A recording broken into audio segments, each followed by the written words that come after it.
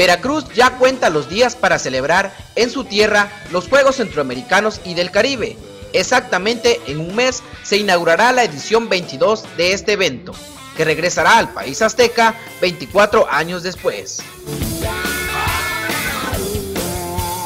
El técnico de la selección mexicana, Miguel Herrera, ofreció disculpas por su comportamiento en el juego del Tri contra Panamá ante los integrantes del cuerpo técnico de los centroamericanos, mensaje que se dio a través de su cuenta de Twitter.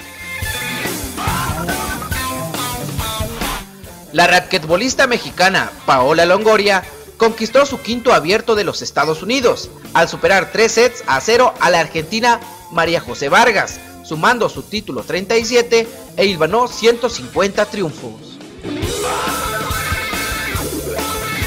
La selección argentina de fútbol se impuso este martes 7 a 0 a la de Hong Kong, en un partido amistoso que marcó la recuperación del conjunto albiceleste tras la derrota del último sábado ante Brasil 2 a 0 en Beijing.